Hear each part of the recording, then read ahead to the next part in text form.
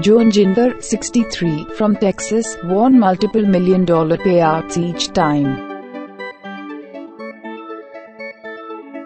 She won the lottery four times since 1993.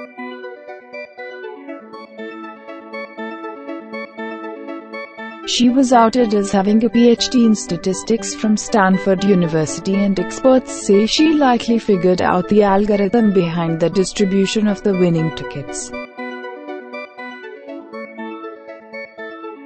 First, she won $5.4 million, then a decade later, she won $2 million, then two years later $3 million and in the summer of 2010, she hit a $10 million jackpot and since moved to Las Vegas. She was called the luckiest woman in the world.